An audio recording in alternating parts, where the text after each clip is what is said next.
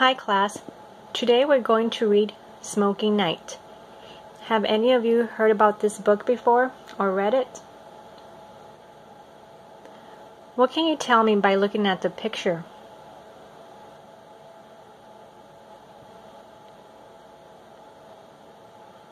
Okay. Uh, Smoky Night is written by Eve Bunting, illustrated by David Diaz.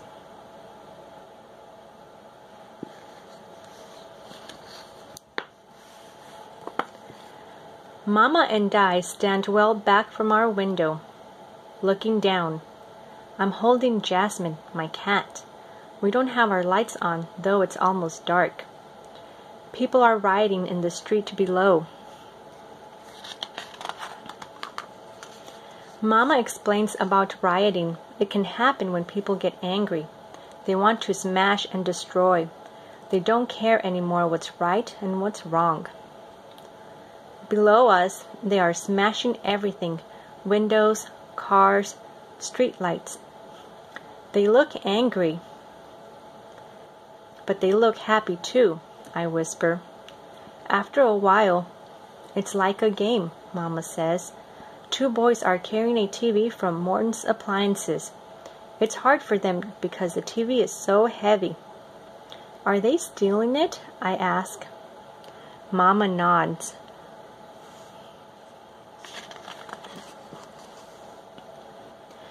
Someone breaks the window of fashion shoes. Two women and a man climb in through the broken glass. They toss out shoes like they're throwing footballs. I've never heard anybody laugh the way they laugh. Smoke drifts light as a fog. I see the distant flicker of flames.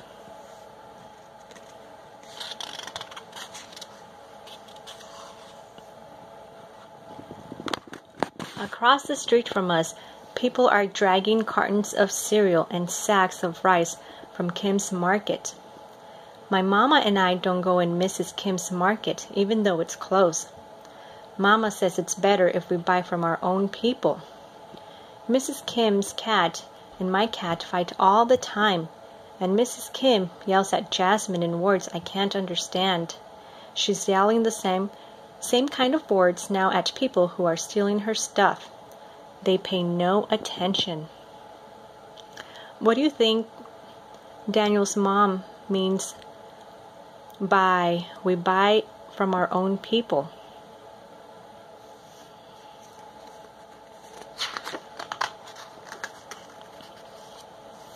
I move behind Mama. Will they come here? There's nothing for them here, Daniel. See? They finished with our street. They're moving on. Our street is emptying. One last man is staggering under a pile of clothes he's taken from the dry cleaners. The plastic bags are still over them.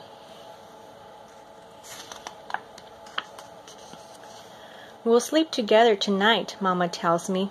She makes me wash my face and brush my teeth. I'm to take off my shoes but leave my on my clothes. She puts me next to the wall. I hold Jasmine. I can't sleep, I say. Shh, Mama whispers. Close your eyes. I do. I guess I sleep.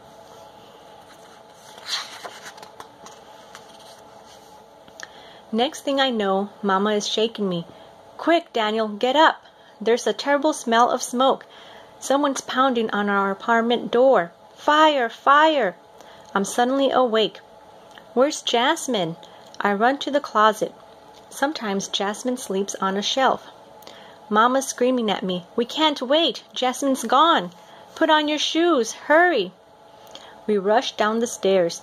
Others crowd around us. The smoke makes me cough. Mr. Ramirez is in front of us carrying Lisa and the baby, who are both howling. Those people are hooligans, he shouts over his shoulder. Hooligans! Mrs. Ramirez is ahead of him. She's holding the cage with Loco, their parrot. Loco's squawking something awful. Did you see Jasmine, Mr. Ramirez? I shout. He shakes his head, but I don't think he even hears me. Don't touch the railing, he warns. It's hot.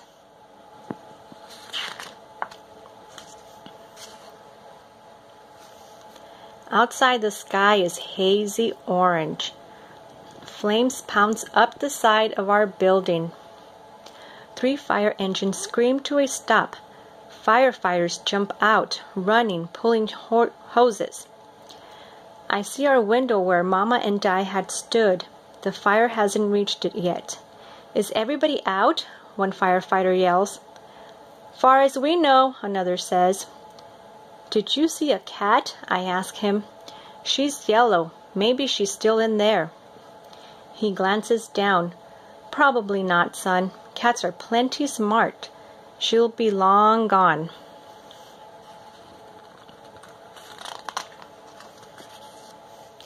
A lady comes up to us. There's a shelter you can come to, she says. Everyone follow me. I'm crying because I'm not sure Jasmine is all that smart. What if she's still inside?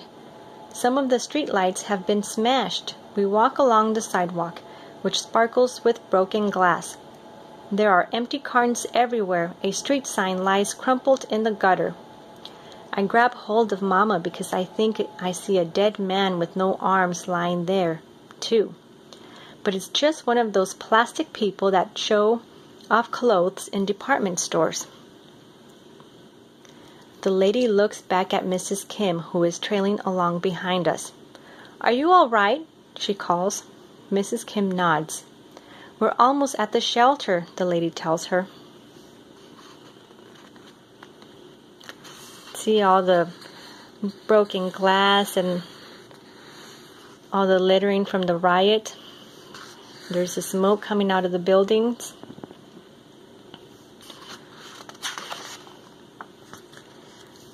The shelter is in a church hall. There are cots to sleep on and a table with hot drinks. Two men are making sandwiches. I've never seen a bigger jar of mayo. We see people from our building. They're talking about who did this, what will happen to us.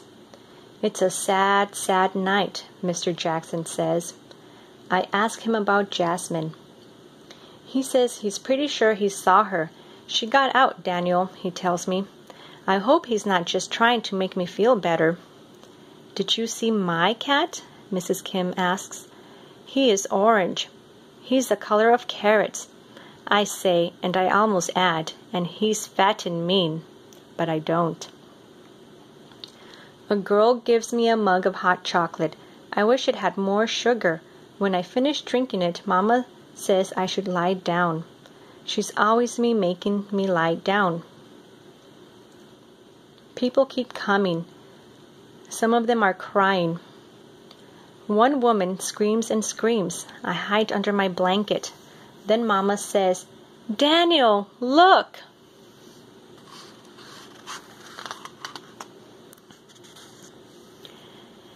And there is a firefighter who is at our building. He is standing in the open door with the smoky night behind him, and I see that he is carrying a cat under each arm. That was how Mr. Ramirez carried Lisa and the baby. The cats are hauling too. Jasmine! The blanket's caught on my foot and I'm trailing it. Oh, thank you, thank you for finding her. The other cat is mine. Mrs. Kim takes her big, fat, mean, old orange cat and holds him close. I'm kissing Jasmine. She smells of smoke.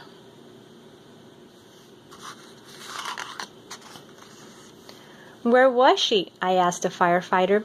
The two of them were under the stairs, yowling and screeching, he says. He takes a mug of hot chocolate. I like him so much. I wish I had a whole barrel of sugar for his drink. The cats were together? Mrs. Kim asks.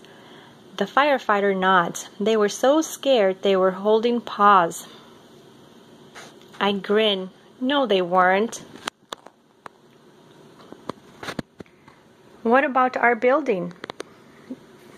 Mr. Ramirez asks. The fire's out. You'll be able to go back in a day or two. A woman puts down a dish of milk. Here, kitty kitty, she calls. Jasmine jumps out of my arms, and Mrs. Kim puts her carrot colored cat down, too. The cats drink from the same dish. Milk isn't that good for cats, but I don't say that either.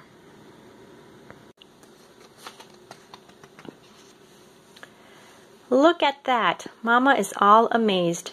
I thought those two didn't like each other. They probably didn't know each other before, I explain. Now they do. Everyone looks at me, and it's suddenly very quiet. Did I say something wrong? I whisper to Mama. No, Daniel. Mama's tugging at her fingers the way she does when she's nervous. My name is Gina, she tells Mrs. Kim. Perhaps when the things perhaps when things settle down, you and your cat will come over and share a dish of milk with us. I think that's pretty funny, but nobody laughs.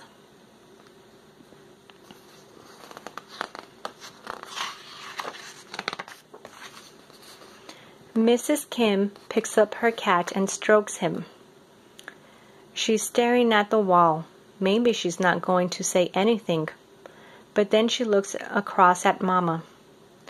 Thank you, she says. We will come. Mama smiles.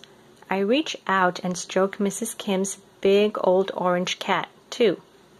Can you hear him, Mrs. Kim? I ask. He's purring.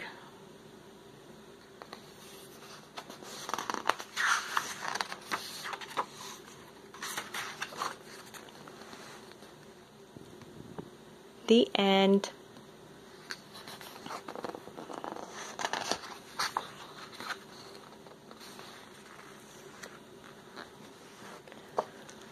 What do you think Daniel and his mom learned about the whole rioting?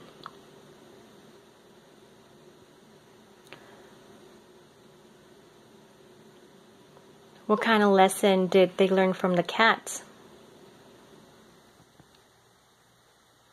Yes, even though they don't like each other, it's very important to stick together during hard times and help each other get through it. And Daniel saw that the cats were getting along and they liked each other because they realized that they're really not that different. Everybody is, in a way, the same.